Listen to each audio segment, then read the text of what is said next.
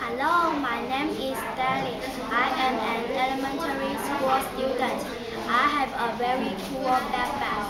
My mother bought it for me. Do you know what color is it? Is it red and white? No, my book bag is blue. See, it is actually a backpack. I like my bag because it is big and beautiful.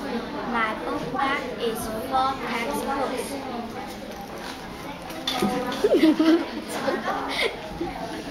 The book bag is heavy, but I have everything I need for the day. Bye bye.